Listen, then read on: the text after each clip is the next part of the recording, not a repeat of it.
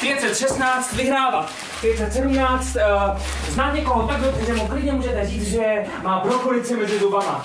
Uh, máma mě úplně neposlouchala, takže jsem mnohdy musel udělat to, že jsem se třeba stopnul před televizi a začal jsem jí ty věci vyprávět, vyprávět, vyprávět, nebo jsem, uh, nebo jsem třeba stopnul rádio a začal jsem strašně hlas křičet. Třeba, třeba, třeba, uh, 877 batohy playback, nebo uh, 262 uh, oškrábat si v létě tvrdý paty.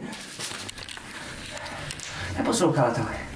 No, jsem si řekl, že začal být trošku kreativnější. Takže jsem začal špendlit vzkazy na deku, nebo jsem začal vyřezávat ty všechny věci do ovoce. Používal jsem magnetickou abecedu, kterou jsme měli, kterou jsme měli na lednici, nebo jsem začal psát dovod. Psal jsem úplně všude, mami, mami, mami, mami.